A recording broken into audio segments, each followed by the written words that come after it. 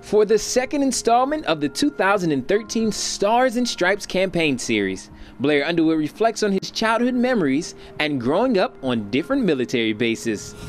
Some of my fondest memories are you know, playing football or playing playing outside, and then at five o'clock, I think it was, at the end of every day, you know, they'd have revelry where they would play the or, or play the national anthem, and whatever you were doing, traffic would stop, you would stop, face the flag wherever the flag was on that base, and they would play the national anthem and you'd give respect to that flag and to your country. You have to understand that these, these army bases or military bases are a microcosm of society. They are a city and a town unto themselves.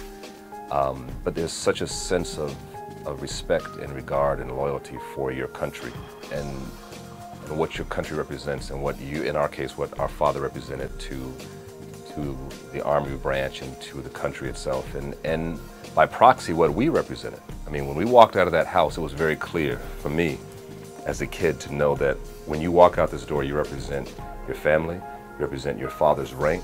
And understand that to be an African American officer in the 60s and 70s was was a rarity.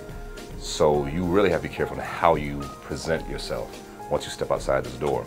Keep it locked right here on Vibe.com for more Stars and Stripes videos featuring Blair Underwood.